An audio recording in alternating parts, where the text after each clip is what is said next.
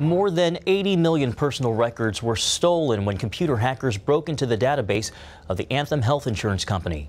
Bloomberg reports investigators suspect Chinese sponsored hackers were responsible, and there are some indications that other healthcare companies may have also been compromised. As Caitlin Burke reports, healthcare has become one of the top targets for hackers. Anthem, the nation's second largest health insurer, is the latest victim of a very sophisticated cyber attack. Some of the hackers now are so good, it's almost impossible in reality to keep them out. And, the, and on top of that, you don't know that they're in.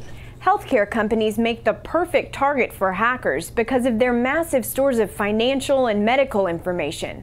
Plus, their defense systems aren't as strong as major retailers or financial institutions, making the information much more vulnerable to experienced hackers. What it, we're really afraid of in this scenario is that they didn't get credit card information, but they got social security numbers. Some other information that may have been compromised birthdays, addresses, and employment details, all things that can be used for identity theft.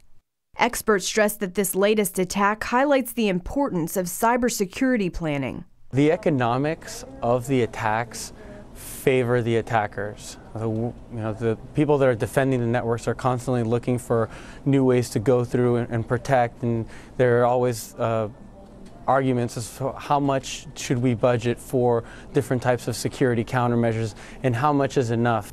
Anthem plans to notify affected customers through letters and emails. They also plan to set up an information website and offer a credit monitoring service. Caitlin Burke, CBN News.